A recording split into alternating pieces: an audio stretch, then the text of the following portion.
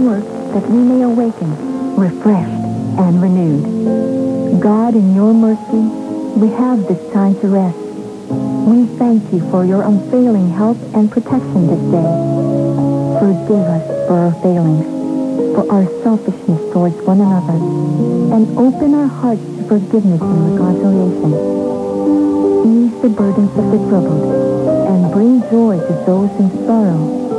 We pray for the safety of the travelers, for those guarding the well-being of our nation, and for those with responsibilities. Continue to shower your blessings on our families and preserve the unity of our society. Ito ang himpilang RMN Manila. 558 kHz sa pihitan ng iyong radyo.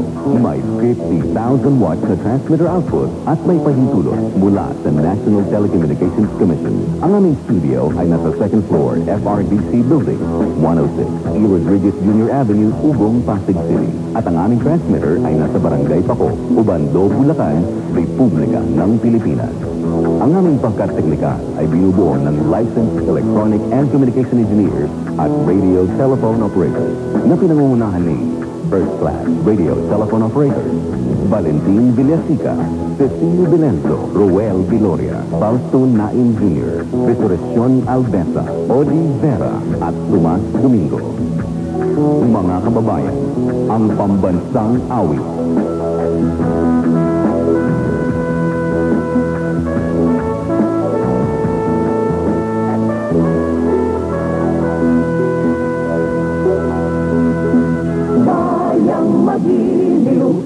Sa silanganan, hanap ng puso, sa dibdib mo'y buhay. Lupang hinirang, duyan ka lang magising, sa manlulupig, di ka pasisiin, sa dagat at bundok, sa simoy at sa langit kong bugaw, may dilagang tula at awit sa paglayang minamahal, ang kislap ng watawat mo'y tagumpay na naglililing, ang bituin at araw niya kailan pa may di magdidilim lupa ng araw ng walang ipagsinta. Buhay langit sa piling mo.